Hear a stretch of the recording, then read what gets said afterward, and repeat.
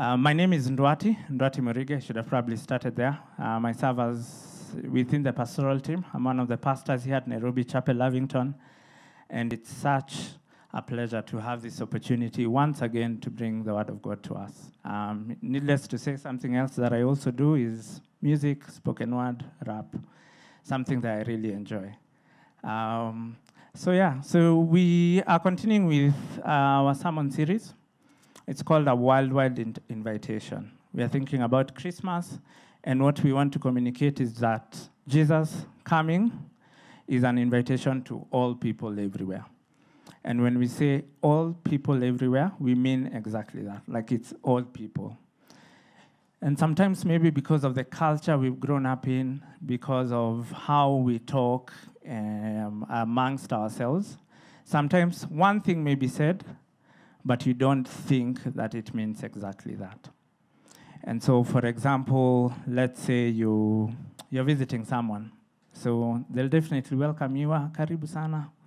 Um, feel at home. I'm glad you're here. Just feel at home. Um, but if you were to take that literally and probably decide to go to the kitchen and fix yourself a sandwich, or you decide, ah, nimechoka, let me go take a nap, and you go to their bed. That's what feeling at home means. But mtakosana at that point. Or you continue on and you have a good time, tell stories, have a meal. You're about to leave and they're happy you were there and they say, It was so good to have you. Like, just come by anytime. Just come anytime. But if you started knocking at their place at probably Tuesday, 2 a.m., or just come up at any given point, it may raise questions. They might get angry with you. And so we probably live in a time or in a culture where we say one thing and we instead understand something else. We understand you're being polite, you're um, overstating, so to speak, but we get what you're saying. And so sometimes we hear some things from the Bible, we hear some things being communicated, and we don't really fully grasp how far that goes. And so when the Bible is telling us that Jesus has come during this season of Christmas, and he has come for all people everywhere, it's all people everywhere, all types of people. No one will be left out from this party. And so we our reading today will be coming from the book of Matthew, chapter 2, verse 1 to 13. So if you have your Bibles, which I really pray you do, you could open the book of Matthew, chapter 2, verse 1 to 13.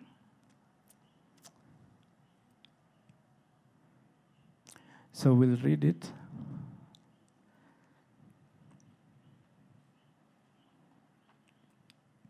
Yeah, just a heads up. Um, somewhere, I can't find my sermon notes. So pray with me as we deliver this sermon. Matthew chapter 2, verse 1 to 13. It's going to be fine. Chap- uh, verse 1 says After Jesus was born in Bethlehem in Judea during the time of King Herod, Magi from the east came to Jerusalem and asked, Where is the one? We saw his star when it rose and have come to worship him. When King Herod heard this, he was disturbed and all him. When he, called, when he had called together all the people's chief priests and teachers of the law, he asked them where the Messiah was to be born. In Bethlehem in Judea, they replied, for this is what the prophet has written. But you, Bethlehem, in the land of Judah, Judah, are by no means least among the rulers of Judah. For out of you will come a ruler who will shepherd my people Israel. Then Herod called the Magi secretly and found out from them the exact time the star had appeared. He sent them to Bethlehem and said, Go and search carefully for the child. As soon as you find him, report to me so that I may go and worship him. After they had heard the king, they went on their way, and the star they had seen when it rose went ahead of them until it stopped over the place where the child was. When they saw the star, they were overjoyed. On coming to the house, they saw the child with his mother Mary, and they bowed down and worshipped him. Then they opened their treasures and presented him with gifts of gold, frankincense, and myrrh. And having been warned in a dream not to go back to Herod, they returned to their country by another route. Let's pray for God's word. Our Father in heaven, we truly, really are grateful that we have again one more opportunity to gather together as a community of believers. We gather together knowing that we need you um, to shape our lives, to shape our thoughts, to shape our actions. And you do this through your word. And so today, as we receive from your word, oh Lord, we pray that it may find fertile ground, that our hearts would be ready to receive what you wish to communicate to us this morning.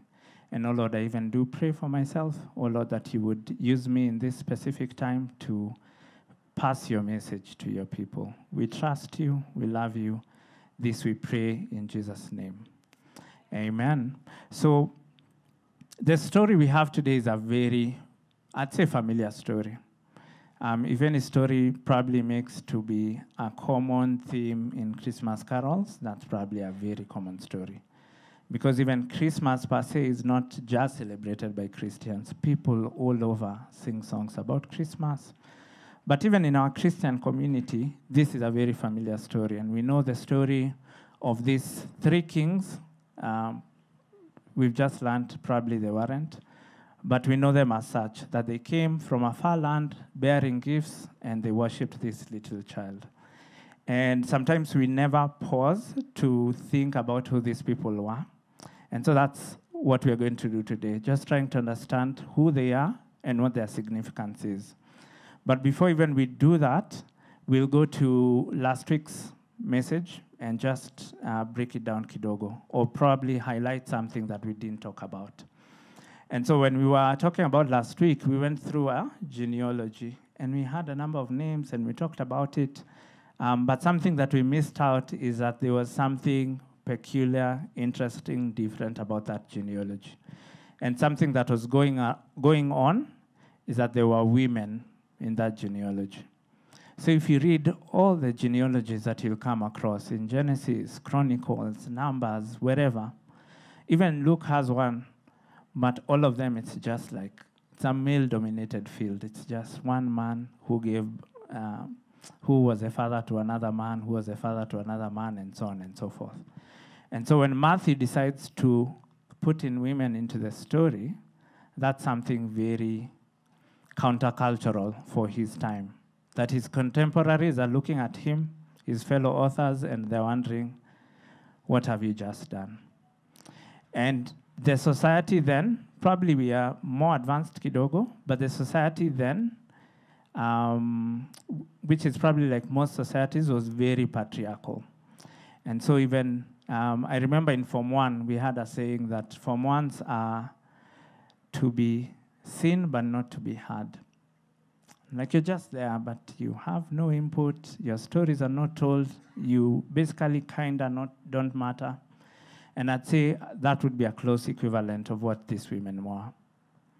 That women in those societies, they they weren't part of the story. The stories were not to be told. Um, but Matthew does this, and this is a first layer that we see that they are being included into the story. That as a story is being told of the family of God and how we can get into it, we find women being placed there. And so, in a society where they wouldn't be placed, they have been placed. Matthew is doing something that's very deliberate. But there's probably another layer to it. And probably we've heard this about in different sermons. And it's the talk about how, when you look now into their stories, these different women, you realize that there's probably a common theme or a common thread. So there are five women, including Mary. Um, so I'd, like to even hear from the crowd, crowd if we know the other four. Um, just uh, raise your hands. I have a gift for the people who like know them. So just say, uh-huh. We have Tamar, that's correct. Uh-huh. Another one? We have Ruth, wonderful. I saw something there. Tamar, Ruth. Rahab, Rahab, wonderful. Ash- uh-huh. Uh, the last one, this is the last one. So we have Tamar, Rahab, Ruth. The last one. Connect. Beth. No, apart from Mary, there's another one. Was associated with David. Bathsheba, wonderful. Um, I've promised gifts. Ushers, if you can collect the names, I'll pray for those people. Uh, I'll pray for you. I'll pray for you guys this week. You'll have a phenomenal week. Uh, so we have Rahab, Ruth, Tamar, um, and Bathsheba. And probably we are familiar with their stories, probably not. I'll just give a quick overview for the sake of the people who are not familiar with them. The first one who's on the list is Tamar. So Judah, who is one of the sons of Jacob, moves to another land, finds a wife, gets three sons, and then decides to find a wife for the firstborn son. And then, for some reason, the firstborn son dies without getting a kid.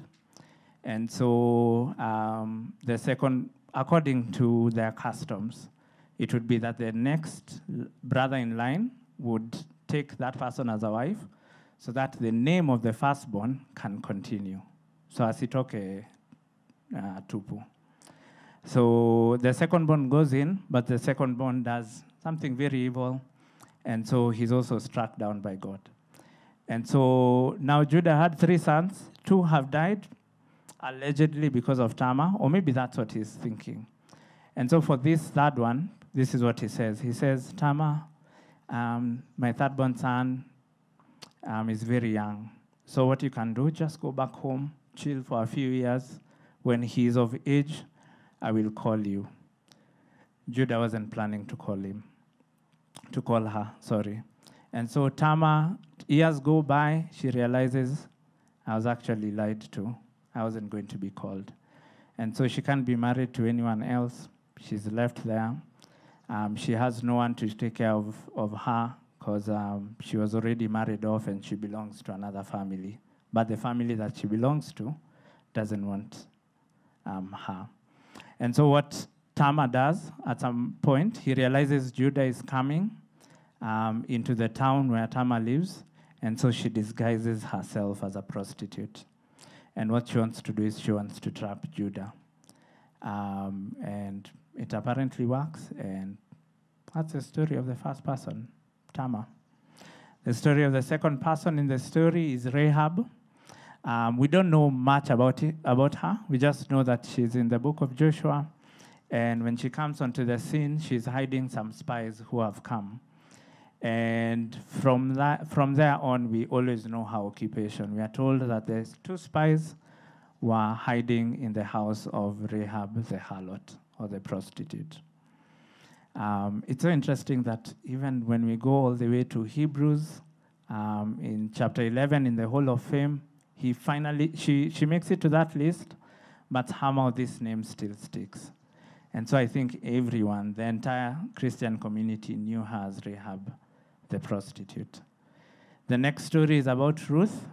Ruth, who um, goes with Naomi back into um, Naomi's home. Um, not much can be said of her. Um, some people are skeptical, some people wonder when Naomi tells Ruth to go and late in the night, um, freshen up, jipake marash kidogo, alafu go by his feet and uncover his feet. Some people think it was just uncovering his feet. Some people think it was more than just uncovering his feet, which is neither here nor there. I am of the opinion that it's the former, that was just uncovering his feet, but there's questions to be raised on why she goes in the middle of the night. And the last story is Bathsheba. It's probably the most common of them all. That Bathsheba was bathing. David saw um, her by the rooftop and called her. And I doubt Bathsheba could say no. And so we have this string of um, impurity in terms of sexuality. And so you would think if we really wanted to include women, Matthew, you could have included some other women. We have other women who, like, their story is not too bad. We have Rebecca. Not, it's not as shady. You could have included Sarah, for sure. Sarah is our matriarch. You'd have included Leah and Rachel. They don't have such difficult stories to wrap our heads around. Why would you include these people? And so, first, layer number one is that we have women in that list.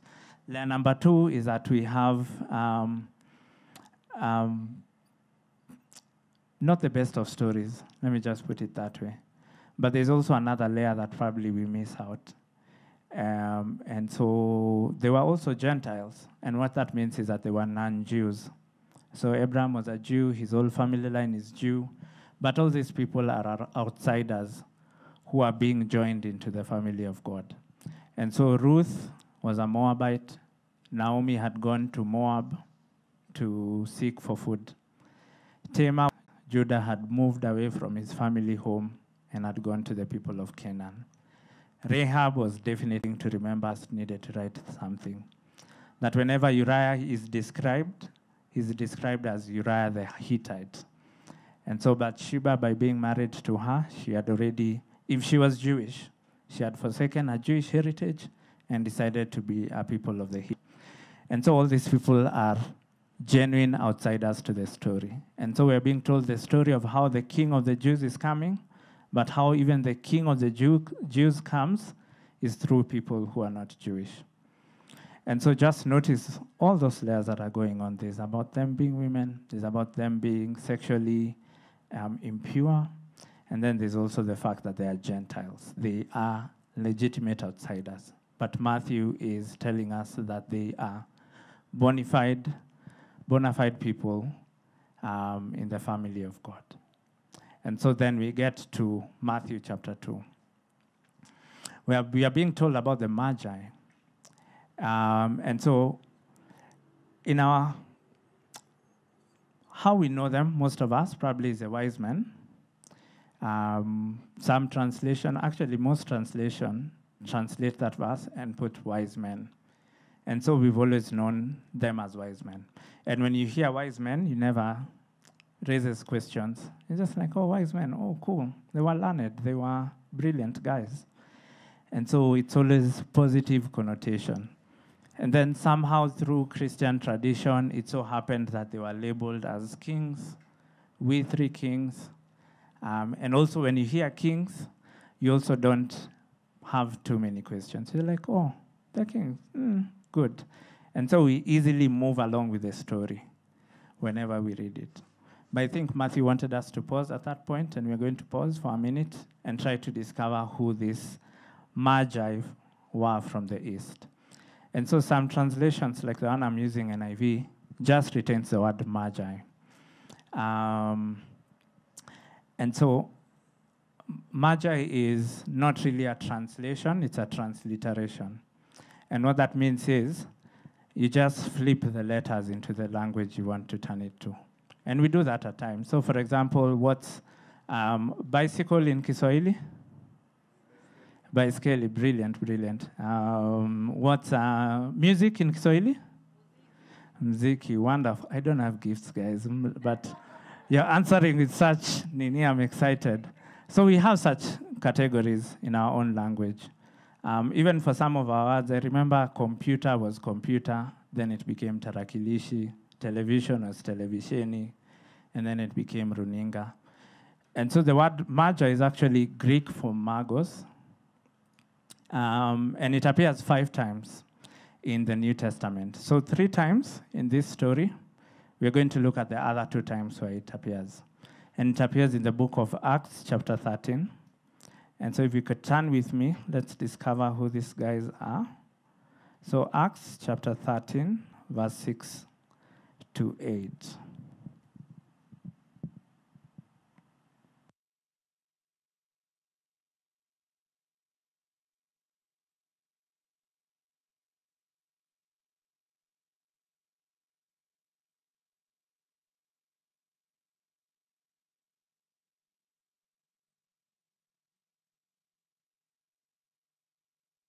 Chapter 13, verse 6 to 8. This is what it says. They traveled through, so there is Paul. So, backstory um, just at the beginning of this chapter, Paul and Barnabas are being set apart for worldwide missions. So, the church of Antioch, five elders are praying. They hear the Holy Spirit saying, Set apart Paul and Barnabas for missions. And here they start. So they traveled through the whole island until they came to Paphos. There they met a Jewish sorcerer, and a false prophet named Bar Jesus, who was an attendant of the proconsul Sergius Paulus. The proconsul, an intelligent man, sent for Barnabas and Saul because he wanted to hear the word of God. But Elymas, the sorcerer, for that is what his name means, opposed them and tried to turn the proconsul from the faith. So, verse 6 and verse 8, wherever you are seeing the word sorcerer, probably a translation has magician, which would make sense. That's the word magi. And so you realize that there's probably more to these people who are coming to see Jesus, that they were probably, not they were probably, they were not as dignified as we'd want to think of them, at least in our eyes. Because whenever we read this passage, we think wise men, kings, and we realize that there's something going on, that they were sorcerers, that they were magicians. If you look at other translation, it talks of them as them being wise men and priests who are also astrologers. If they are priests and they're coming from another country, they are definitely priests who are given to other gods. And so, for us, when we read this passage, we don't think about it much because of probably um, what we already think about it. But for the original readers, when they were reading this passage, they really have question marks. And they're asking Matthew of all the people who could come to visit Jesus, of all the stories you could highlight about his infancy, why do you have these people? And it's probably a whole group, a huge group. Probably the best um, connection we can find is like when you read in the book of Daniel, whenever Nebuchadnezzar has dreams, and then they're the, the, he, he really, really wants an interpretation because probably the dream is disturbing or hard to interpret. And then if you read those lists, he calls out so many people, and we are told they are astrologers and wise men and sorcerers and um, all that. That whole list, um, that whole list, that's a magi. And so it's this huge group of people. When they're walking into Jerusalem, asking around who is the king of the Jews, I bet the people are wondering, who are these people? What are you coming to do here? And so they're definitely Gentiles. They're, def- they're, they're most likely, not most likely, they're given to other gods. They practice some sort of spirituality that is not accepted by the God of Yahweh. But they're the people that Matthew is highlighting in this story. And the reason why this is significant is this that Matthew is highlighting the outcasts, the misfits, the people who everyone would cringe at when they would read this story, most especially the Gentiles. It's because he is, I think he is winning the readers into getting something. So, for example, I actually don't know if this is how it works, but I assume if a child doesn't like malenge, um, you mix it with something he likes, and then you put it in the mouth. And then eventually, because you know he needs the malenge, um, he'll, he'll be taking it in, maybe not liking it, maybe noticing the test, but he will take it in. And Matthew is dropping in hints of Gentiles being bona fide people um, in the family of God. And why this is very significant is because the Jews in themselves had a very um, bad attitude towards the Gentiles. Let me put it that way. That by the time the story is here, um, one, these Gentiles are the people who have been oppressing them and are oppressing them at this point. Um, and also, these Gentiles, just their ways are just um, abhorrent to the ways of the living God. And so there's this air of animosity, of hatred, of contempt, of disdain. And that's why we read, like, for example, in the story of John chapter 4, when Jesus is meeting the Samaritan woman, and Jesus says, Give me a drink. And then the Samaritan woman says, You're a Jew? I'm a Samaritan. So Samaritans were even not even fully Gentile, they were half Jew, half Gentile. You're a Jew, I'm a Samaritan. Why would you ask me for a drink? And then it goes on to say in brackets, for Jews did not have anything in common with Gentiles. And what that means, it's not that they didn't have like hobbies and interests and anything like they were common in. It was that if the Samaritan used a cup the Jew can never use that cup. Otherwise, he would consider himself unclean. If the Samaritan is in this home, the Jew cannot be in this home. And so that's the um, time where this message is coming in. And to these Jews that really don't like or hate or have contempt or animosity or wouldn't want to be around them, it is to these people that they are being told that Gentiles are a part of this story and you need to get used to it. It's very interesting how deep it goes. And so you'd think even after the resurrection, it's going to be different. People are spirit filled. And so they know how to, they understand that Gentiles are supposed to be part of the story. Um, but I want to read to us a story in Acts chapter 10, verse 9. It's a very interesting story. You can turn with me there. Acts chapter 10, verse 9. It says, About noon the following day, as they were on their journey and approaching the city, sorry, backstory. So the chapter begins with a Roman centurion. We are, we are told he's a good guy. He prays, he gives alms. An angel appears to the Roman centurion and says, Today you will receive a word from the Lord. And so the Roman centurion sends servants to Peter's house. So it's these servants who are coming to Peter's house to get Peter so that Peter can go to the Roman centurion and deliver God's word. And so, about noon the following day, as they were on their journey and approaching the city, Peter went up to the roof to pray. He became hungry and wanted something to eat. And while the meal was being prepared, he fell into a trance. He saw heaven opened and something like a large sheet being let down to earth by its four corners. It contained all kinds of four footed animals, as well as reptiles and birds. Then a voice told him, Get up, Peter, kill and eat. Surely not, Lord, Peter replied. I have never eaten anything impure or unclean. The voice spoke to him a second time Do not call anything impure that God has made clean. This happened three times, and immediately the sheet was taken back to heaven. Um, and then, while Peter was wondering the meaning of this vision, um, the men sent by Cornelius got to the house and they knocked the door. And so you can even see for Peter, at this point, leader of the church, um, does miracles, does all those things, preached 3,000 people and they got saved. Even for him, he needs to be softened kidogo. And so he gets into a trance. God gives a vision. Three times he reiterates, basically saying, it's okay. I want you to go to this Gentile house and I want you to preach the gospel to them. And even as he's talking to them at some point, he actually says in verse 27 um, while talking to him, Peter went inside and found a large gathering of people, and he said to them, You are well aware that it is against our law for a Jew to associate with or visit a Gentile.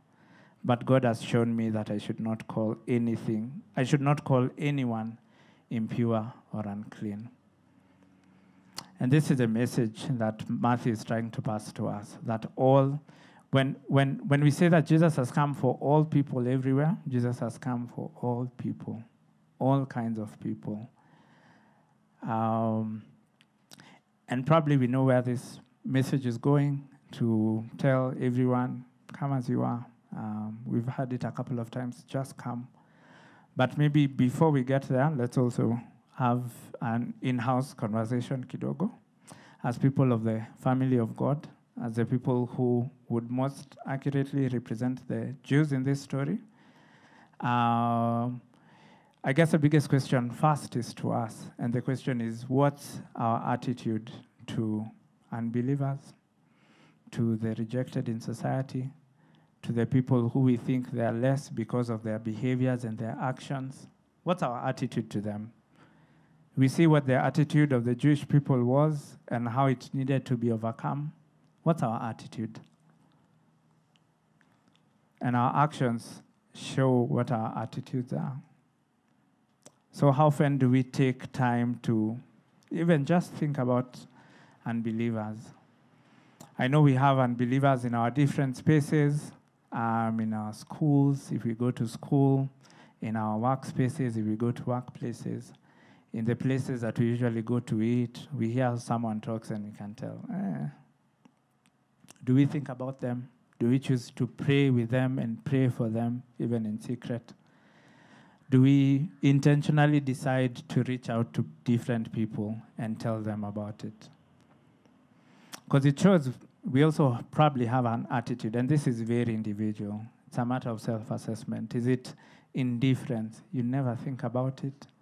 You know that the Bible says that unbelievers will be destroyed, but is it indifference? Is it apathy that you know that's their fate, but you really don't care for whatever reason? They might as well. Is it contempt? And sometimes it's valid, especially if you're a victim of a certain um, sin or injustice. But what's our attitude, and should it not change? Should we not realize what Matthew is trying to do and realize that it should happen to us as well? That today, as we go out, it must be different how we interact with unbelievers. They must be a part of our thoughts, a part of our plans, to realize that God came for them. That even if you feel hatred or contempt because you are a victim of a certain sin, it would make sense why you would hate whenever you hear the word thief, because at some point in your lifetime, someone came into your house and swept everything away. But the reason they are like that is because they haven't met Jesus. And the Jesus that has saved you is the same Jesus that can save them as well. And that right there is a solution, even for their own heart and turmoil and confusion that you go through because of these different type of people. And so it's up to us. God is giving us the mandate the responsibility, we who know God, not to turn a blind eye to them, not to give them a hand, uh, give them the hand, but to draw them into the into the people of God, to be the people who minister to them. That Matthew is telling us his story, and we know where he ends in Matthew 28, and it says, "Therefore I tell you, all authority on heaven and earth has been given to me. Therefore go."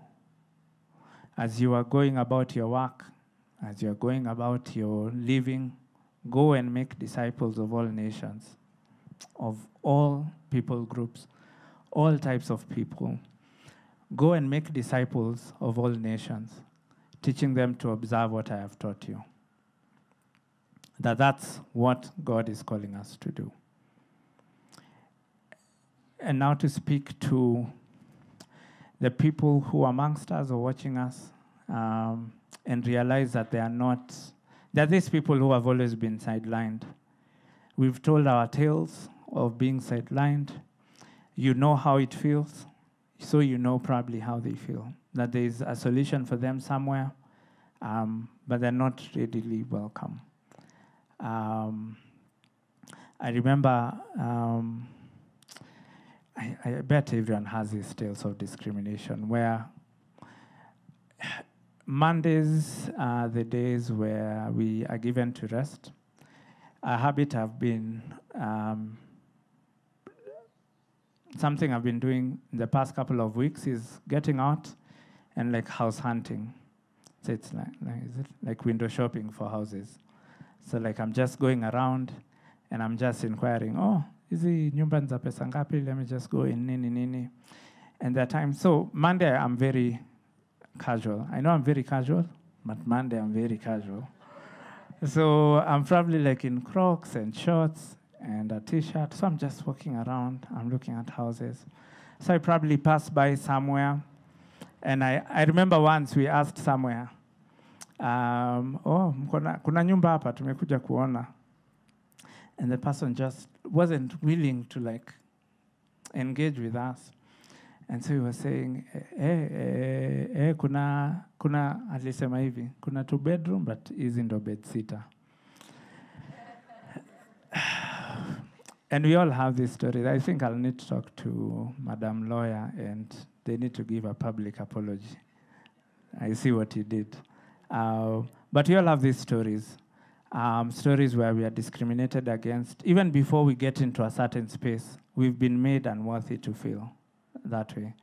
And for the people who um, are on the outcast of society, you probably feel that way. That I know of people who, even the basics, that they feel like they can't come into the house of God because of how their hair is, or they have decided to do something weird with their body, like pierce their ears or their nose or whatever. And this message is for you that you can come and be in the family of God. That whatever you've done, that when you look through this story and you see all these people and you just wonder, how did these people make it? And the thing is, God is inviting all people. Doesn't matter what you've done, how many people you've killed, how many people you've slept with. Um, I'm trying to be PG as well. It doesn't matter what you've done. Um, if you've taken someone's um, wife or husband, if you have aborted, that all these things somehow make us think that we shouldn't be here, but God is inviting us back and telling us that we should be here. That think about the person who's telling this story is Matthew. He was known as a tax collector. And if there was someone who was the total outcast, it must be Matthew, because he decided to align with the Roman government. So, but he's not really Roman, so he doesn't really have friends there. He's there for work. But all the Jews hate him because he is a traitor and he's the one, the exorbitant taxes that are being asked of them by the Romans, that they even have to sell their land, and now they rent their own land that was given to them by their parents. This Matthew was hated by all people. But it is Matthew that Jesus walked by a tax booth, saw him, and said, Come. And of all the disciples, we can argue who was the most undeserving, but it was definite. In my opinion, it was Matthew. Or rather, everyone around him would wonder, I see why you called Peter. I see why you called Andrew. I don't get why Matthew is here. He has betrayed our whole community. And so it doesn't really matter what you've done, where you've been, that God is very particular. That when He says all people can be in the family of God, that this is where we learn how to live as God would wish that you are welcome. And so I'd like us to take some time to pray. Of everything I have spoken about, you probably lie somewhere. Some of us, we need to just check ourselves on our attitude towards unbelievers. Is it apathy? Is it indifference? And does, not, does that need to change? And does that need to change? And it changes towards compassion, that he realizes are broken people that need God. And it moves to courage as well, that we go out to these people and we reach out to them. And if you're also here and you don't know Jesus, you're not a believer, and probably the only thing that held you back is you thought you're not worth it, no one here is worth it. No one here is worthy. No one here has earned a place. No one here deserves to be here. We are all here by the grace of God. So I'll invite Jeremy to just join me as we sing a song. I pray that we reflect, decide what am I going to do different? Who am I going to pray for? Who am I going to reach out to? These people need to be in the family of God. These people need, if their lives are going to change, these people need to know God, whoever they are. I'm nothing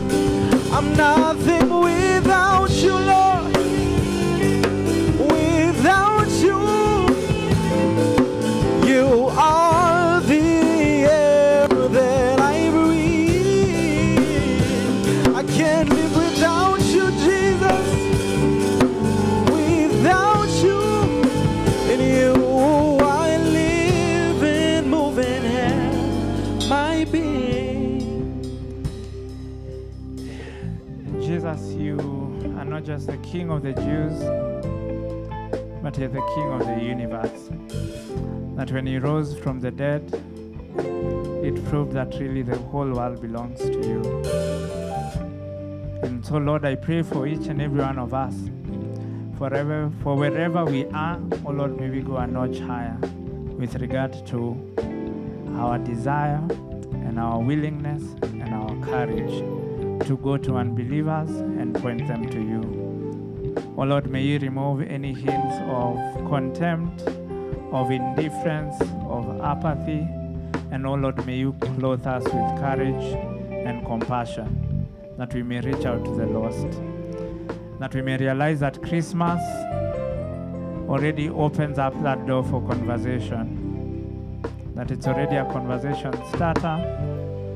That we can go to people and easily just bring up your name, the name that is above every other name. And oh Lord, I do pray for those who probably they're even believers, but they've always felt like outsiders. And so they've never even wanted to do much in the house of God because they think they don't belong. Oh Lord, I pray that you may remind them that the people in Jesus' genealogy aren't all that. I pray that you may remind them that it is because of these irregularities and sins and inconsistencies and tendencies to wickedness that you came. Oh Lord, I pray for that person who knows not Jesus. Oh Lord, I pray that you may draw him to draw him to yourself. That the main reason why you came is that all people may be saved, including that single person. We trust you, O God. We put our lives in, uh, in your hands that you may do with them as you please. This is our prayer, and we ask it in Jesus' name. Amen.